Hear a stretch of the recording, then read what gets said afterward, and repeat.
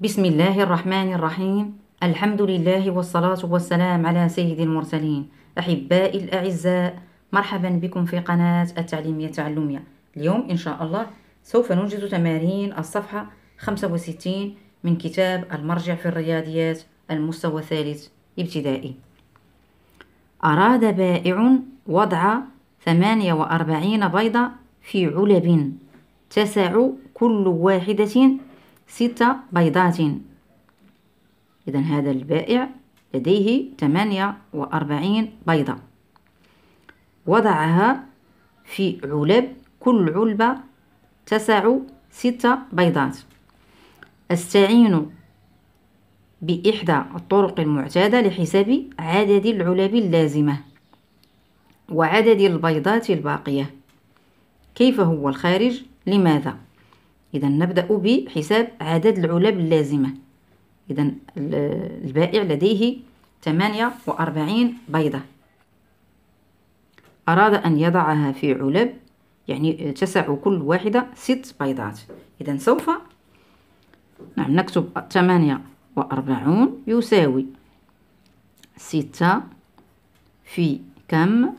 زائد كم؟ إذا دائما أعتمد جدول الضرب.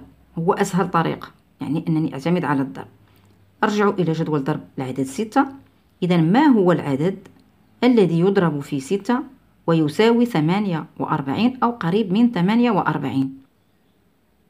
ستة في سبعة اثنان وأربعون. ستة في ثمانية ثمانية وأربعون. إذا ستة في ثمانية.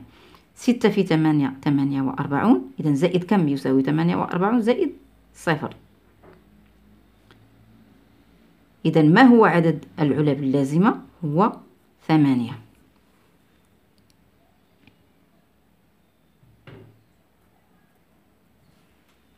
عدد البيضات الباقية؟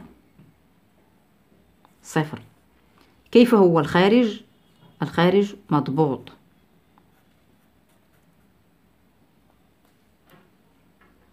لماذا؟ لأن الباقي صفر.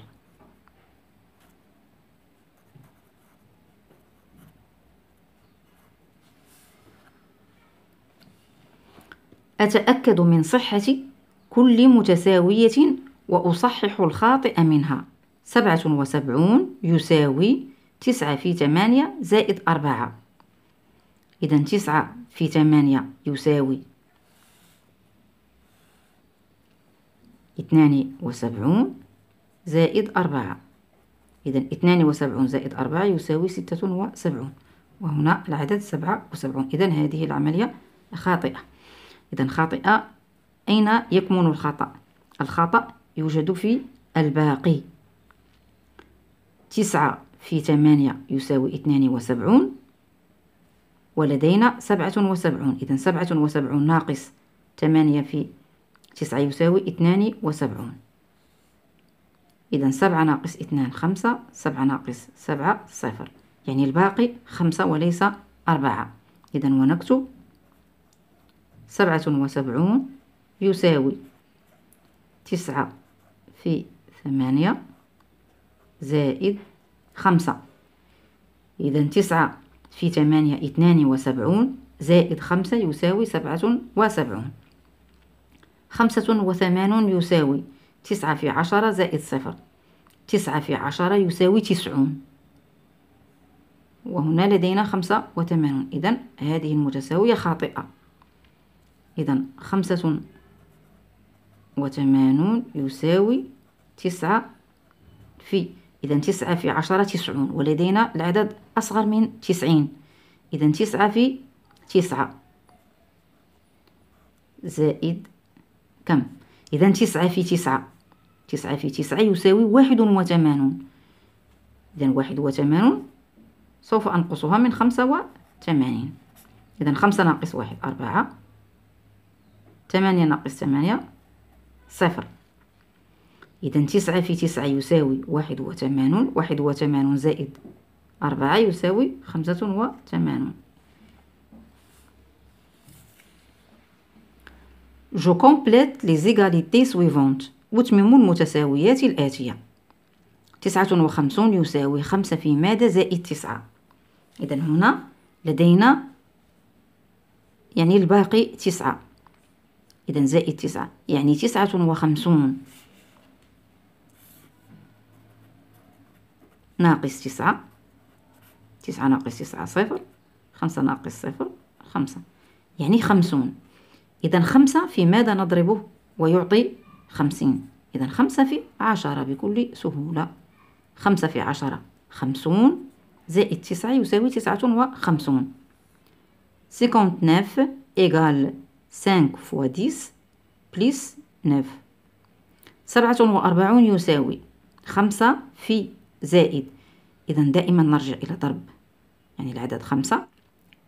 خمسة في ماذا يعطينا هذا العدد أو عدد قريب منه.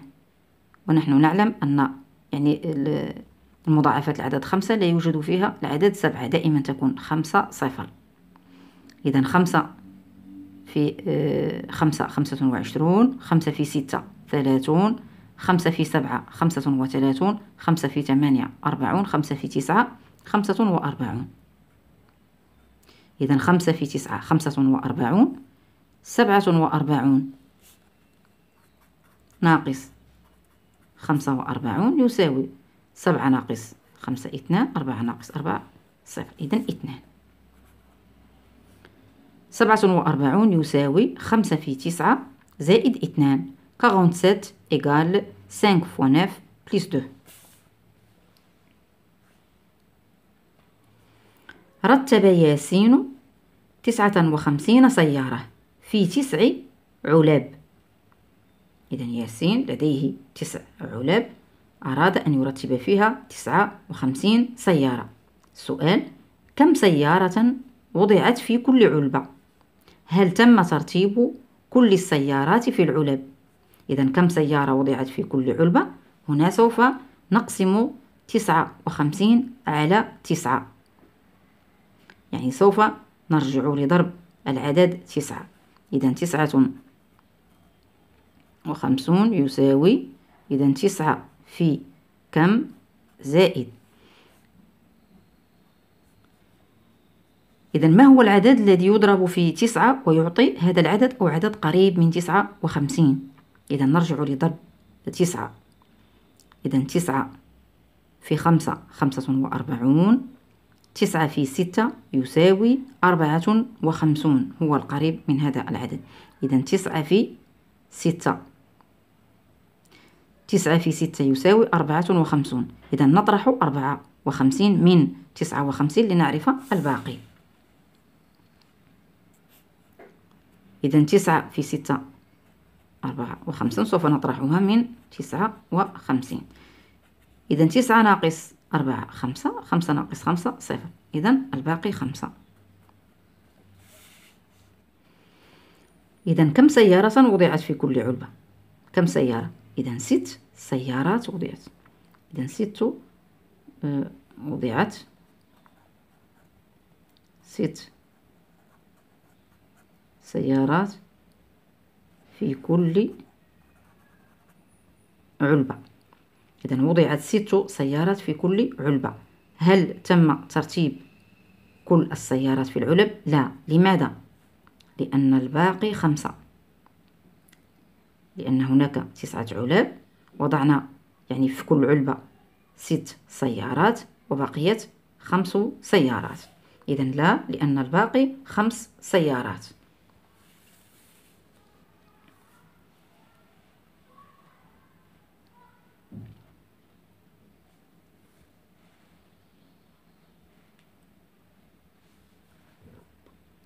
أراد عامل نقل ستة وخمسين علبة. على عربة يدوية بغوة. لا تتسع إلا لثمان علاب. إذا هذا العامل أراد نقل ستة وخمسين علبة. وهذه العربة اليدوية لا تتسع إلا لثمان علاب. كم رحلة سيجري لنقل كل العلاب؟ أولا ألاحظ جواب زينب. عدد الرحلات هو ستة. أستعين بإحدى الطرق التي تعلمتها للتأكد من صحة جواب زينب. إذا العامل يتوفر على ستة وخمسين علبة أراد نقلها على عربة يدوية. لا تتسع إلا لثمان علب. إذا سوف نقسم ستة وخمسين على ثمانية. إذا ستة وخمسون يساوي إذا ثمانية في كم؟ زائد كم؟ إذا دائما أرجع إلى جدول ضرب الأعداد ثمانية. إذا ثمانية في ماذا يعطي ستة وخمسين؟ إذا ثمانية. ثمانية في سبعة يساوي ستة وخمسون. إذا ثمانية في سبعة. ثمانية في سبعة يساوي ستة وخمسون يعني هنا زائد صفر يعني الباقي صفر. إذا من خلال هذه المتساوية فإنني توصلت بأن عدد الرحلات هو سبعة. إذا عدد الرحلات عدد الرحلات هو سبعة. الاستنتاج الجواب. إذا ماذا نستنتج؟ نستنتج يعني بأن عدد الرحلات هو سبعة وأن جواب آه، زينب خاطئ. الاستنتاج عدد الرحلات هو سبعة. إذا جواب زينب خاطئ. التصحيح التصحيح يعني عدد الرحلات سبعة وليس ستة